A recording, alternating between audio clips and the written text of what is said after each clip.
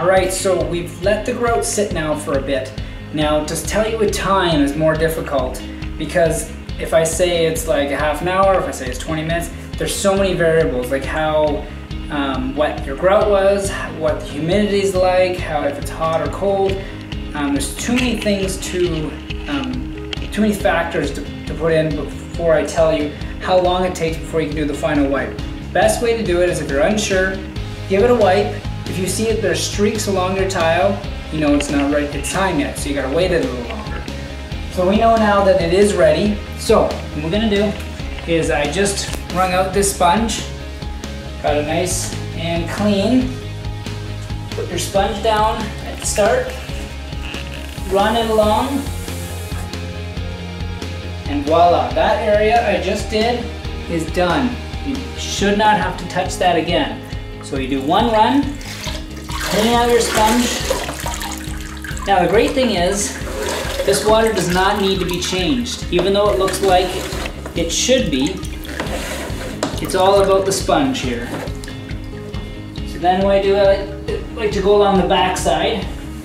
One swipe here, and voila, that is done. But only one swipe. It does talk about doing two wipes, one on each side of the sponge. I don't find that works as well. I like to only do one. Same thing here, one swipe, that area is done. And continue that all the way along until you finish the whole floor. Now, if for whatever reason, when your floor has dried, getting a little tight here, when your floor has dried and you find that there's a few patches of maybe some haze, don't fret. Let it sit for couple more hours and take like a damp cloth, and I mean damp, not wet, but damp, and just kind of wipe off those spots. So if you need to go over the whole thing, that's okay too. But you don't want to add a lot more water at this point. Now it's at the, it needs to dry, it needs to dry evenly, so you don't want to get it soaking wet.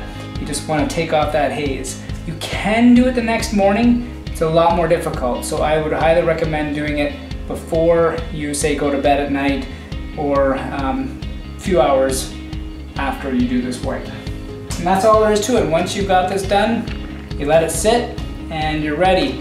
Now this floor you can actually walk on basically two hours after you've finished with this particular grout. Highly recommend you wait till the next day at least. They you know usually say 24 hours, that kind of thing. Not a bad idea, just to make sure everything's good. Other than that, you're done. You've done well, a lot of work, but in the end, well worth it. Thanks so much for watching, and I hope you enjoyed it.